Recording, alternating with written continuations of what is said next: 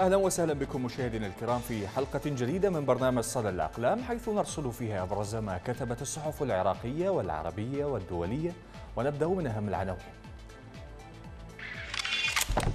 جاء في موقع الهيانت ناحية جلولة بمحافظة دياله تتعرض لهجوم بقذائف الهواء. ونطالع في المدى الدعوة مهدد بثلاثة انشقاقات احتجاجا على تجديد العهد المالكي. وفي كتابات رغم الإجراءات الأمنية مخدرات إيران تواصل طريقها إلى العراق. جاء في البصائر هيئة علماء المسلمين تصدر بيانا حول العملية العسكرية في قضاء الطارمية ونطالع في الشرق الأوسط انسحاب أمريكي مفاجئ من الرتبة.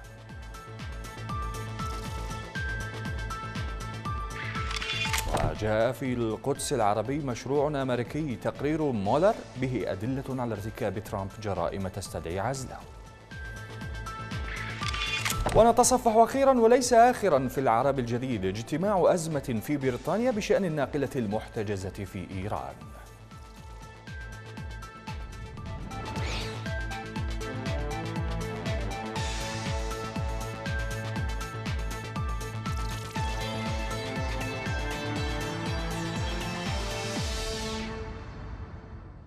أهلا بكم. جاء في العرب اللندنية النظام الإيراني مهما تبختر وتجبر آيل للسقوط. فهل يسارع الرؤساء الثلاثة في العراق إلى القفز من السفينة الماضية إلى الغرق في مياه الخليج؟ هذا مقال للكاتب إبراهيم الزبيدي في صحيفة العرب اللندنية.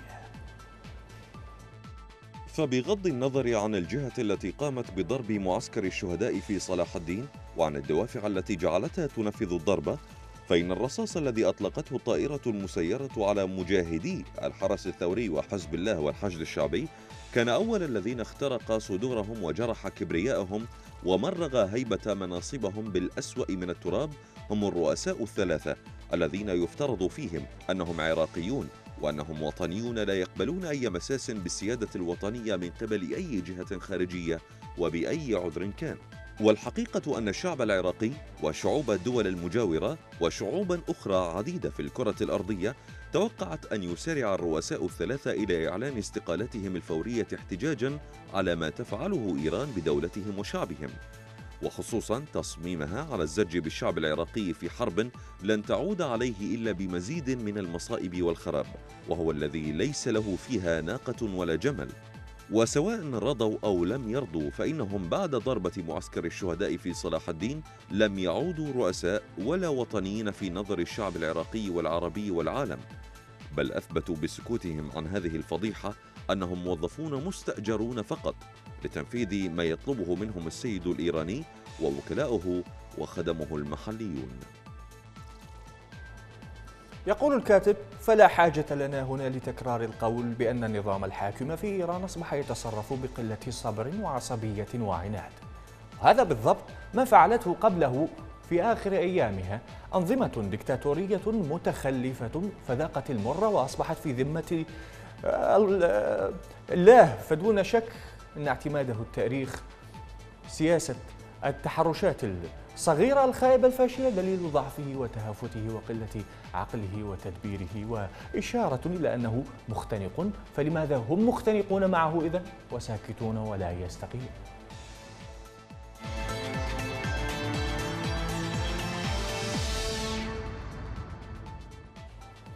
القابضون على السلطة هم المتحكمون في التشريعات الانتخابية. يسطروها على وفق مقاساتهم بغية احتلال المقاعد التمثيلية مع ديمومة البقاء فيها وهذا ما هو مطبق فعليا لدينا منذ 2005 إلى يومنا هذا. وهذا ما يفسر تحديث التشريعات الانتخابية في كل دورة انتخابية تحدث سواء كانت لانتخابات مجالس النواب أم لانتخابات مجالس المحافظة. مقال الكاتب هادي عزيز في صحيفة المدى.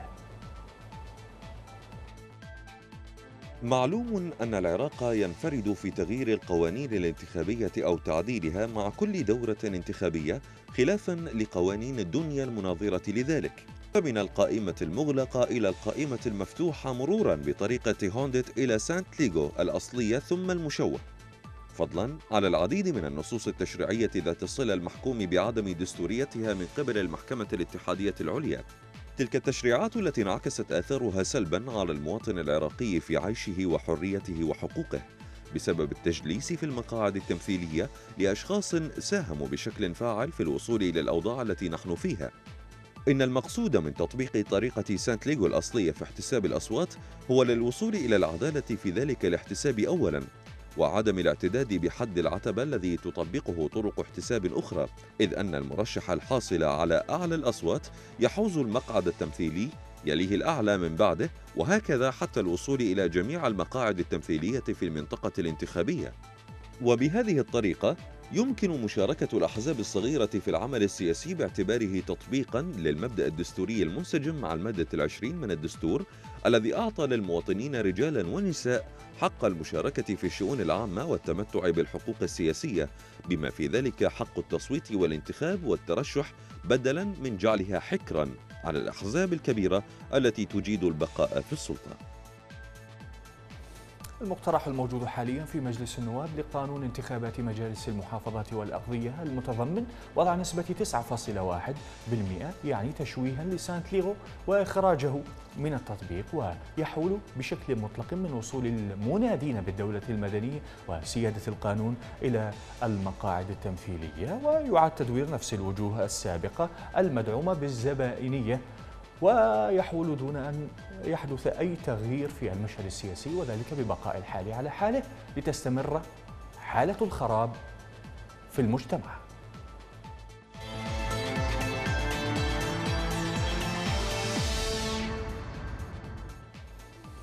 في مقطع فيديوي قصير نشر على صفحات مواقع التواصل الاجتماعي ظهر مجموعة من الشباب في محافظة البصرة يطاردون بالهتافات متظاهرين من أتباع تيار الحكمة بينهم وجهاء عشائر ويصفونهم بعبارات لو سمعها.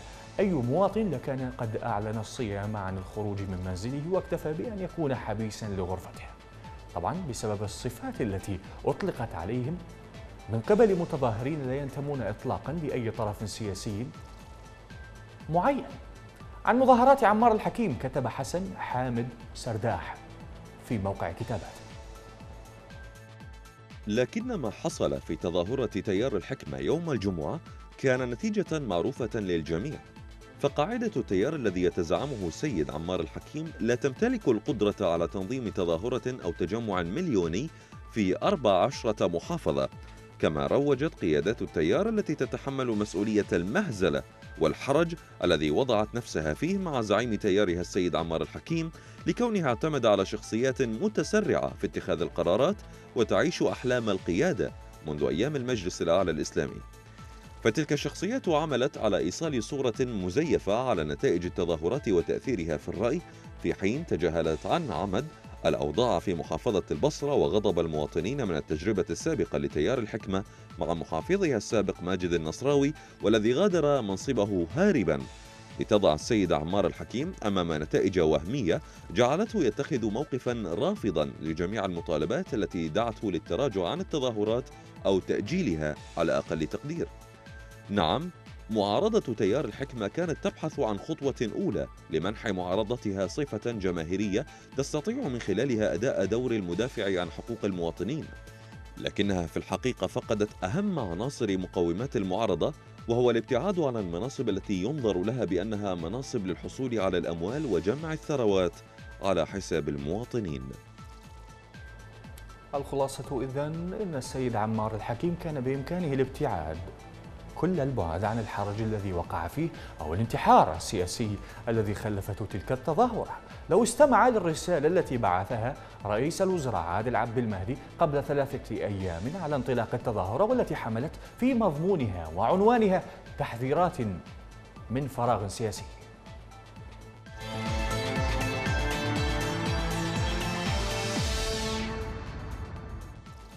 جاء في الشرق الأوسط حاولت إيران خلال الشهرين الأخيرين شد قميص الولايات المتحدة عبر استفزازات يومية سواء بالتصريحات النارية الفارغة من قبل المسؤولين الحكوميين وقادة حرس الثورة والمرشد نفسه أو بالتحرش بسفن تجارية وموانئ خليجية وطائرة استطلاع أمريكية حديثة أو حتى محاولة تسلل ناقلة نفط إيرانية عبر مضيق جبل طارق.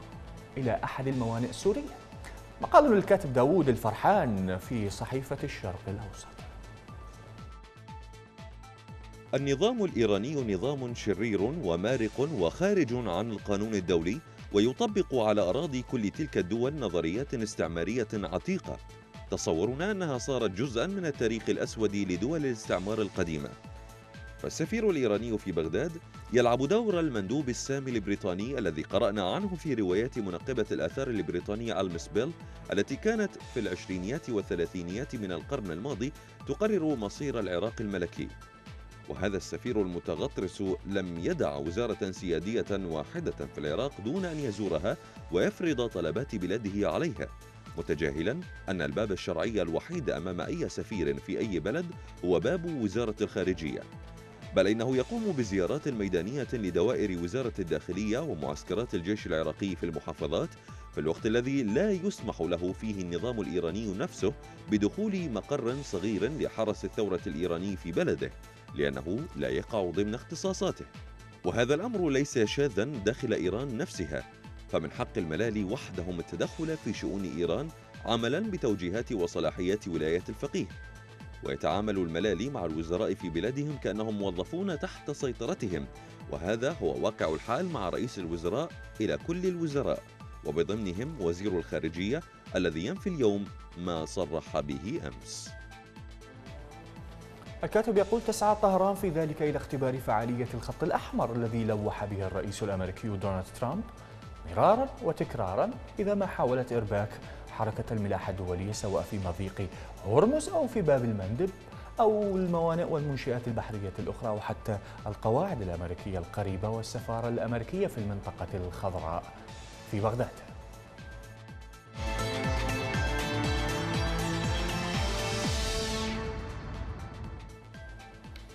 لا يحتاج القارئ إلى مزيد من المعلومات حول ما تفعله الصين بحق مسلميها بخاصة أقلية الأويغور. لذلك لا نرى حاجة لإيراد معلومات حول ما يجري على هذا الصعيد. فالقصة باتت معروفة ومتداولة على نحو يومي في العالم برمته وفيها من البشاعة الكثير. إذ يتعرض مسلمو الصين إلى عملية محو لهويتهم والأسوأ من ذلك أن أن أنه لا يتم عبر القوة الناعمة آه، والتدريجية كذلك بل عبر الأشرس أنواع القمع التي تتمثل في احتجازهم مثلا في معسكرات احتجاز وتعذيب رهيبة وفصل الكثير منهم عن أطفالهم. هذا مقال للكاتب ياسر الزعاترة في موقع عربي 21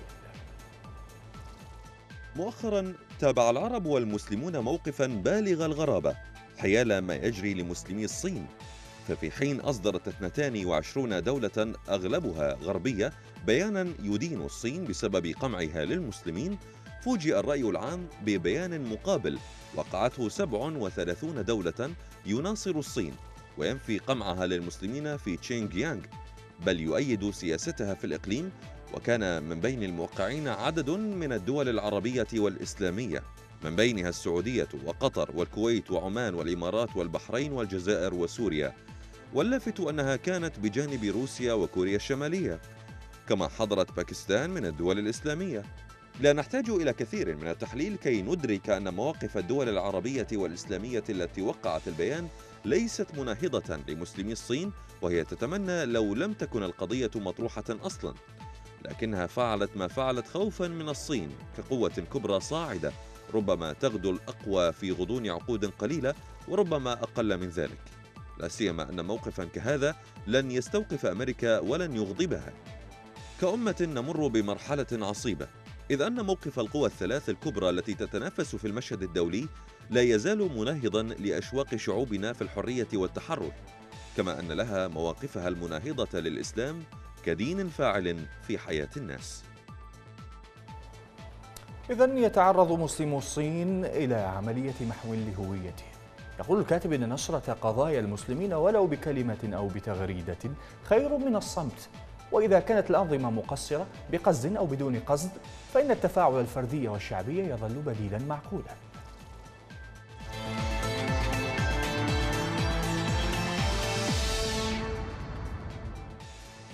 مطالع في العرب الجديد ترامب تمادى هذه المرة حينما طاولت تغريدة له عنصرية أربع نساء من الحزب الديمقراطي وهن عضوات في مجلس النواب الأمريكي ووصل به الأمر إلى حد مطالبتهن بالعودة إلى بلادهن.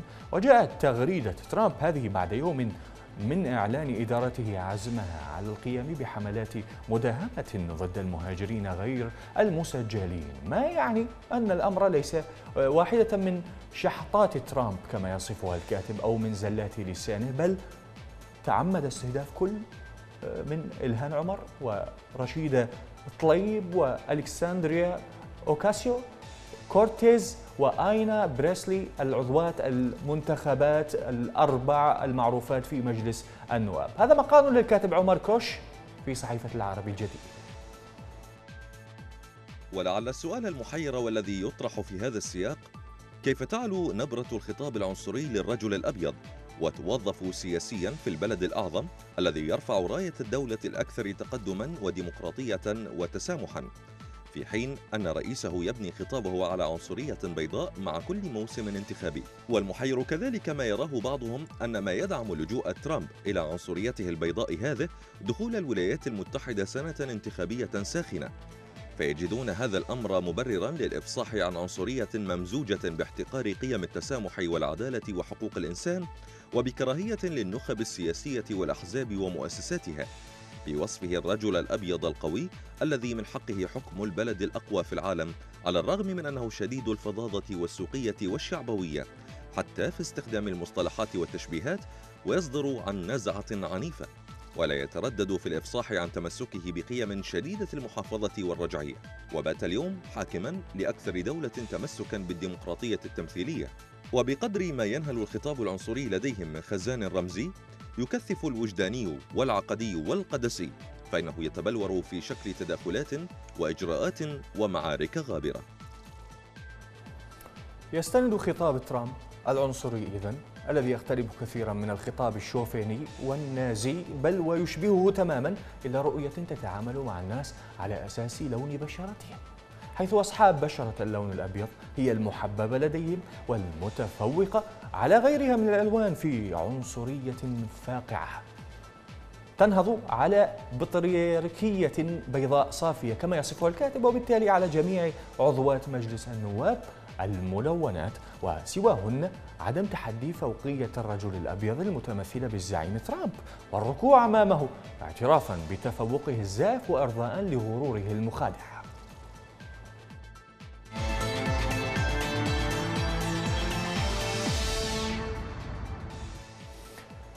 أعلن علماء من جامعة كولومبيا البريطانية أنه قريبا سيتمكن الأشخاص من تغيير فصيلة الدم. وعثر العلماء على نوع من البكتيريا تستطيع تغيير فصيلة الدم حيث بفضلها يمكن إنقاذ حياة الأشخاص الذين يمتلكون فصيلة دم نادرة أو مغايرة. فقام العلماء أولا بإجراء التجارب المعتادة على أحد أنواع البكتيريا ومن ثم تفاجأوا بقدرتها الهائلة على تحويل فصيلة الدم. وكانت هذه البكتيريا موجودة في القولون داخل جسم الإنسان. ووجد العلماء أن البكتيريا قادرة على تحليل التركيبات المعقدة للسكريات إلى عناصر بسيطة بسهولة ولهذا السبب بالتحديد يتم تغيير آه، ولهذا السبب بالتحديد يتم تغيير زمرة الدم.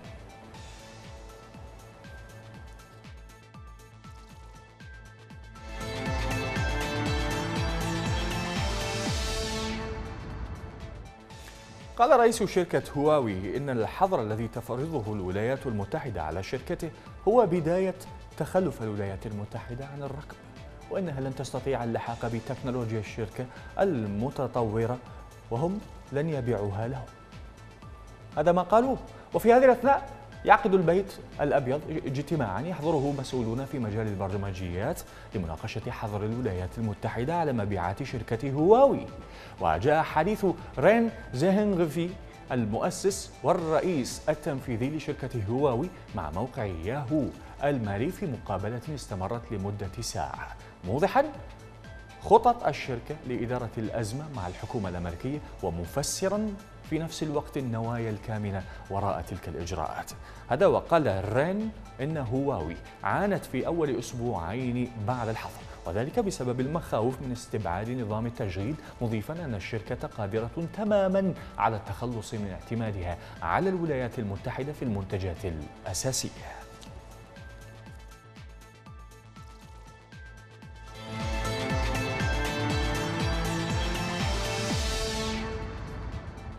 متابعة ممتعة مع الكاريكاتور.